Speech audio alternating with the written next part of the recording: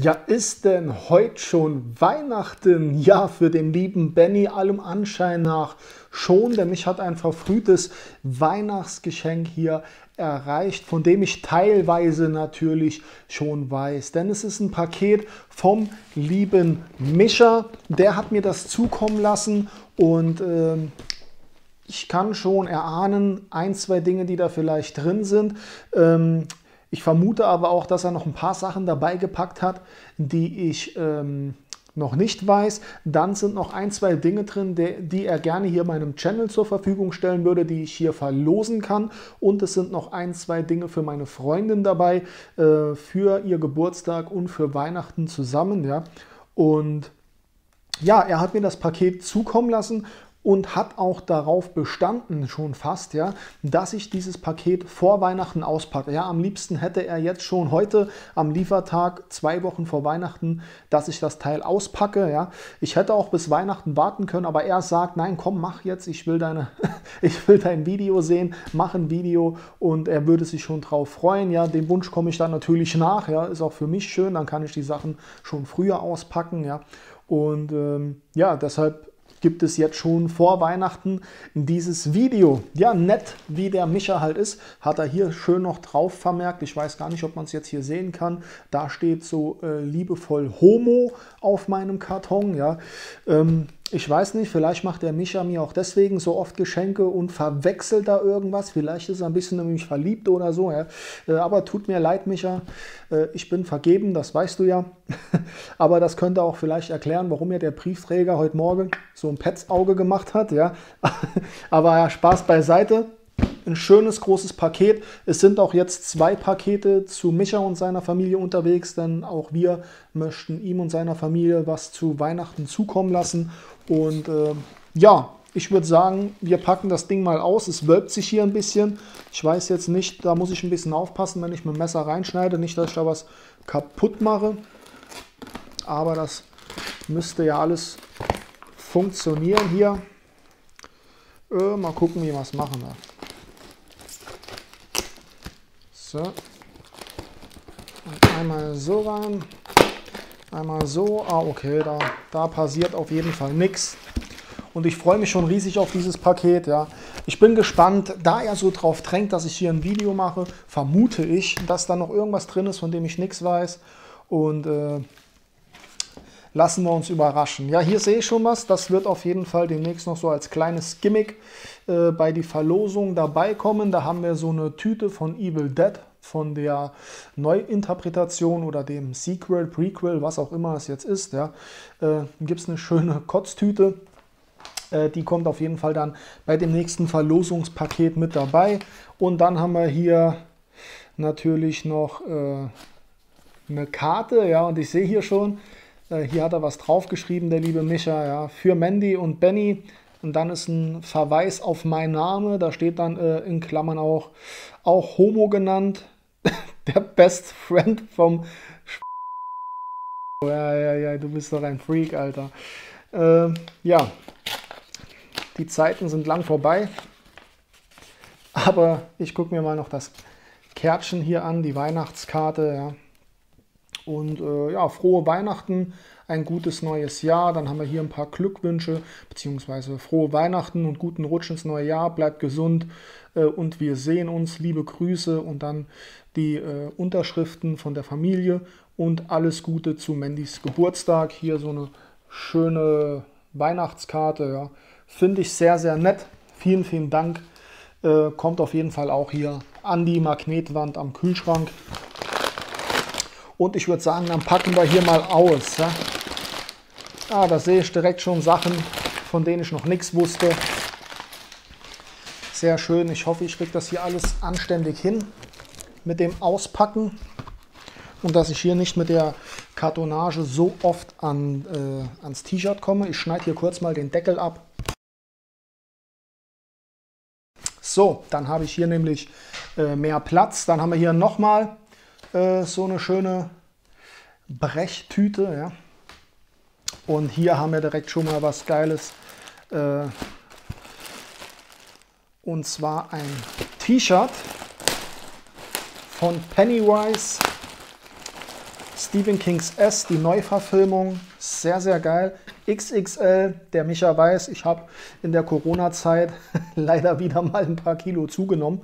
Da hatte ich so gut abgenommen und dann wieder zugenommen. Aber XXL müsste passen und da haben wir hier dieses Artwork und das sieht sehr, sehr geil aus. Ja, auf jeden Fall. Also ich hoffe, es passt. Ansonsten muss ich demnächst wieder ein paar Kilo abnehmen. Come Back and Play steht drauf. Ein sehr, sehr guter Druck, sehr schönes Artwork. Gefällt mir richtig gut. Vielen, vielen Dank dafür. Das lege ich mal hier auf die Seite. Mal gucken, wo ich genug Platz habe. Oh je, da ist ja einiges drin. Äh, ja, da haben wir was. Davon wusste ich ungefähr, äh, dass ich das bekomme. Aber habe nicht gewusst, welche Cover. Denn der Micha hat mir hier zu Weihnachten Halloween Media Books gekauft. Ja? Und äh, ja, freue ich mich auf jeden Fall und bin schon gespannt. Da haben wir hier einmal das Remake, also beziehungsweise ist ja kein Remake, ist eine Fortsetzung äh, zum Original. Also der 2018 ist er, glaube ich, rausgekommen. Hier mit Jamie Lee Curtis. Und äh, sehr, sehr schönes Cover auf jeden Fall. Sehr cool. Mir hat auch das Cover mit äh, Schiotti gut gefallen, ja. Aber das sieht natürlich auch mega aus. Und ich äh, finde allgemein diese Mediabooks hier, diese von Halloween, sind irgendwie dicker und größer als als sonst, habe ich das Gefühl. Ja, hier jetzt nicht, glaube ich. Aber ich hatte im Mediamarkt zum Beispiel eins in der Hand von Universal. Und ähm, das war ein bisschen größer als die regulären Mediabooks. Hat mir gut gefallen. Ja, auf jeden Fall sehr, sehr geil. Wird es natürlich auch noch Unboxings geben. Dankeschön dafür. Dann haben wir hier natürlich äh, die Retro Collection von Halloween 2, Rob Zombies Halloween 2 auch ein mega Film. Ich finde den geil. Viele finden den nicht so toll. Okay, der Slane hat zum Beispiel letztens mal erwähnt, dass das mehr so, dass die mehr nur noch so auf die Gewaltszenen setzen und so, ja. Beim Zweier kann man das schon fast sagen, ja, aber ich fand den ersten Teil von Rob Zombie grandios, ja. Äh, genauso wie das Original. Ich kann beide separat davon, äh, voneinander schauen, ja. Beide haben so ihre gewissen Arten. Der Original mehr halt auf Atmosphäre und so, ja. Und äh, Rob Zombie seine sind halt ein bisschen schmutziger, ein bisschen brachialer, aber von der Origin Story fand ich das sehr interessant auf jeden Fall. Und auch Teil 2, der mir aber besser gefall, gefällt in der Kinoversion anstatt in der äh, Director's Cut Fassung, weil die hat eigentlich nur unnötige Dialogszenen noch dabei. Ja. Dann, was haben wir dann hier noch? Noch eine Kotztüte von Evil Dead. Also da wird es einige Gewinnspiele wohl geben demnächst. Und äh, dann mache ich mal hier die Verpackung weg. Und dann haben wir hier, okay, das ist auf jeden Fall auch zum Verlosen für den Kanal. Hoffe, euch geht's gut. Liebe Grüße, Michael und die Namen der Familie.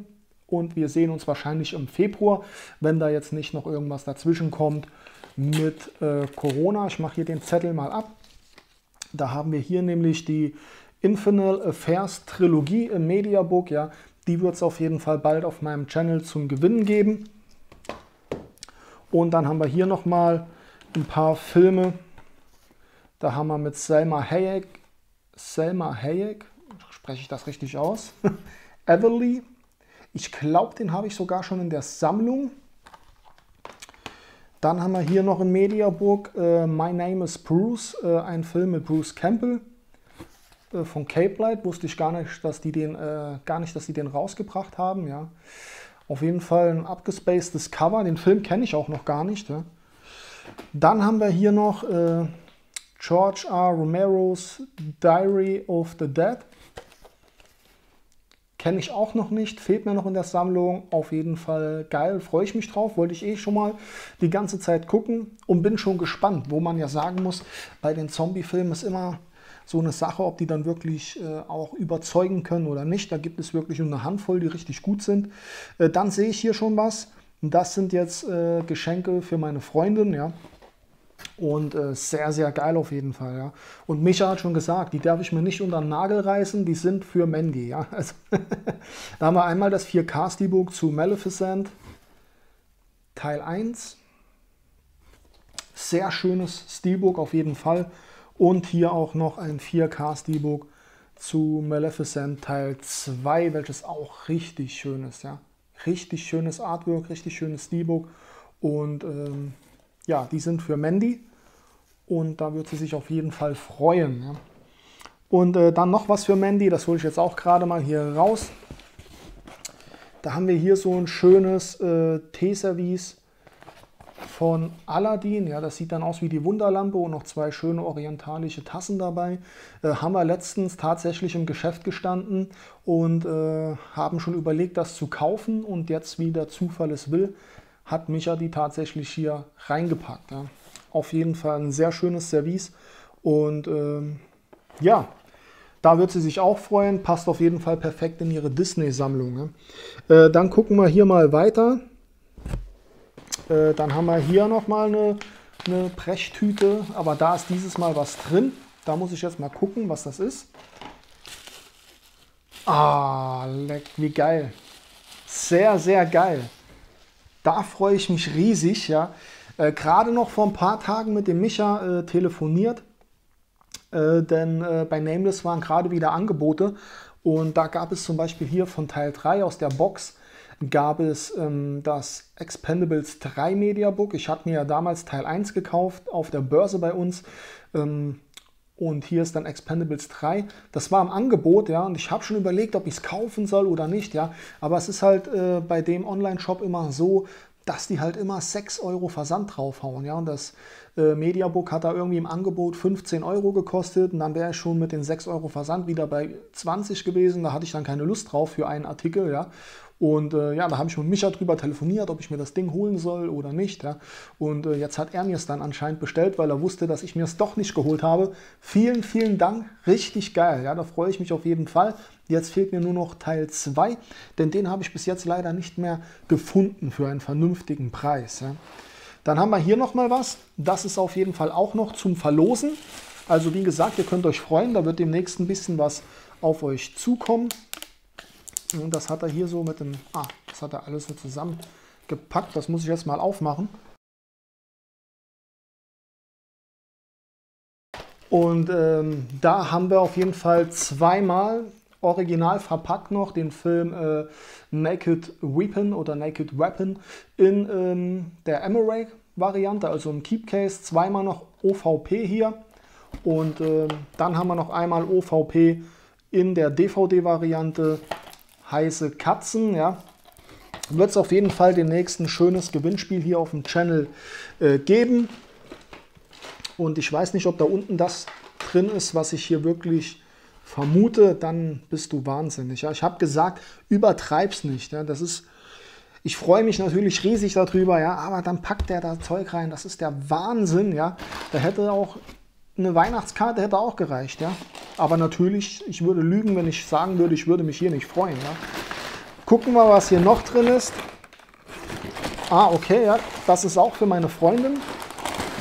Und äh, dazu muss man sagen, das haben Michas Frau und Michas Kinder selbst gemacht, ja, für meine Freundin, weil sie wissen, dass sie großer Disney-Fan ist. Und äh, da haben wir hier eine äh, Schmuckschatulle. Eine Schmuckschatulle. Ich halte das mal hier vors Gesicht. Hoffentlich schaltet er scharf. Eine Schmuckschatulle von Die Schöne und das Biest. Und äh, alles handbemalt. Sieht sehr, sehr schön aus. Gefällt mir richtig, richtig gut. Ich hoffe, dass er das jetzt scharf geschaltet hat. Und sieht sehr schön aus. Äh, gefällt sogar mir. Also äh, ist ja halt für Männer jetzt ein bisschen kitschiger, ja, aber ich finde es sehr, sehr schön gemacht. Äh, da haben sich, jetzt habe ich den Namen gesagt, ja, und die Kinder haben sich hier wirklich äh, viel, viel Mühe gegeben und äh, vielen, vielen Dank hier auch im Namen von Mandy. Äh, da wird sie sich bestimmt drüber freuen, äh, weil es sieht einfach fantastisch aus. Ja. Das stelle ich mal auf die Seite. Und dann gucken wir, wir sind noch lange nicht am Ende hier. Da sind noch ein paar Dinge drin. Und äh, Mal gucken, was das hier, was ist denn das da unten? Ich hoffe, das ist nur ein Lückenfüller. Ja? Okay, so, dann gucken wir. Sehr, sehr schön. Hat er auch schon mal was angedeutet. Ich war mir aber nicht sicher, ob er es dann doch wirklich macht. Da haben wir einmal Tanz der Teufel 2 von 84 Entertainment. Das sind hier diese neuen Mediabooks, die rausgekommen sind. Sehr, sehr geil. Ich bin ja großer Tanz der Teufel-Fan. Ich habe viele Mediabooks schon in der Sammlung von Tanz der Teufel, äh, auch wenn ich sagen muss, dass der erste Teil sehr schlecht gealtert ist, ja, aber ist halt immer noch ein Kultfilm und hat so einen Kultstatus, verbindet man mit ein bisschen Nostalgie, ja. Und dann haben wir hier noch Army of Darkness. Und den wollte ich ja eigentlich auch unbedingt haben. Und tatsächlich hat er mir den hier dabei gepackt, auch von 84 Entertainment. Und sogar in der Cover-Variante, die mir am besten gefallen hat. Sehr, sehr geil. Vielen, vielen Dank auf jeden Fall. Das freut mich, ja. Ähm, ja, Army of Darkness, auch ein Kultfilm, der mir mittlerweile sogar besser gefällt als Teil 1 und Teil 2, einfach in diesem Mittelalter-Szenario, wo sie da Ash reinwerfen mit der Kettensäge und der Flinte. Einfach Wahnsinn. So, ich weiß nicht, ob es das war, ob das hier jetzt, äh, was das da jetzt genau ist, ob das ein Lückenfüller ist oder, ja, ich glaube, das ist, oder was, na, was ist denn das? Ah, okay, okay. Ich mache mal hier den Karton weg. Und äh, ich denke mal, dass das da drin ist jetzt. Ne? Sonst würde ich mich ja hier schön blamieren. Aber ich gucke mal. Weil ich denke nicht, dass der Karton leer ist. Nein, tatsächlich. Sehr, sehr cool. Äh, Micha weiß ja auch, dass ich ein Sony-Fan bin. Und er hat mir jetzt hier ein äh, schönes Licht geschenkt. Ja? Das ist ein Licht, also so wie es hier abgebildet ist, das sind die äh, Icons von dem Pad, von dem Gamepad, vom Controller, von Sony, von der Playstation. Und das ist ein Licht, ja, das ist eine Nachttischlampe und sieht sehr, sehr nice aus auf jeden Fall. Ähm, hinten sieht man noch, wie es dann aussieht, wenn es leuchtet hier. Und sehr, sehr cool auf jeden Fall. Habe ich auch noch nicht gesehen. Sehr geil. Ich habe tatsächlich erst gedacht, der hätte mir hier das... Äh, Headset von der PS5 reingepackt und so. Das wäre aber wirklich wahnsinnig gewesen. Da habe ich auch gehofft und auch gesagt, bitte pack das nicht rein und so, weil das einfach viel zu teuer ist. Ja. Aber ich war mir nicht sicher, ich habe eben nur das Playstation-Logo gesehen, ich nein, der Wahnsinnige, Wahnsinnige hat das ja nicht gemacht. Aber nein, ist eine Nachttischlampe und da freue ich mich drüber, weil die sieht wirklich nice aus und die macht sich auf jeden Fall gut in der Sammlung. Ja, das war's mit meinem äh, vorzeitigen Weihnachtsgeschenk und ähm, wie gesagt, ich hätte eigentlich bis Weihnachten gewartet, aber der Micha hat darauf bestanden, dass ich das Paket ruhig früher auspacken soll. Ja, sind sehr, sehr viele schöne Dinge dabei. Auf jeden Fall vielen, vielen Dank, lieber Micha. Und natürlich auch vielen Dank an deine Frau und an die Kinder. Und ähm, wie gesagt, wenn nichts dazwischen kommt, sehen wir uns auf jeden Fall im Februar. Und wir wünschen euch auch eine frohe Weihnachtszeit, einen guten Rutsch ins neue Jahr. Ihr müsstet ja auch die Tage unsere Pakete bekommen. Und ähm, vielen, vielen Dank. Ja, mehr kann ich dazu jetzt nicht sagen. An euch Zuschauer, vielen Dank fürs Einschalten. Ihr könnt mir gerne eure Meinung hier zum Paket in die Kommentare reinschreiben. Und ansonsten, wie immer, lasst mir gerne einen Daumen nach oben da, aktiviert die Glocke, abonniert meinen Channel und dann sehen wir uns beim nächsten Video. Euer Benny. Ciao.